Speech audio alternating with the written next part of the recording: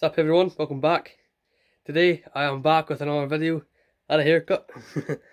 um, I'm doing a video to tell you every to, to tell every each and every one of you that I have got some video ideas coming up and you might not want to miss them because I've got some ideas um, in GTA, GTA Online and some other games as well. But there is one problem. I, I need to try and connect my YouTube channel to like my my PlayStation so I can like so I don't have like crappy camera angles and all that stuff. It's not really good. So yeah, and I don't want to hurt you guys' eyes and all that stuff. Try to like look at the screen. but yeah, I will be coming back. And yeah, more videos on the way.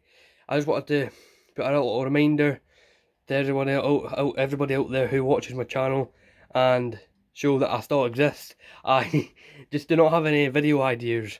So just comment down below what you want to see from me and subscribe, comment, like and yeah, see you guys in the next video.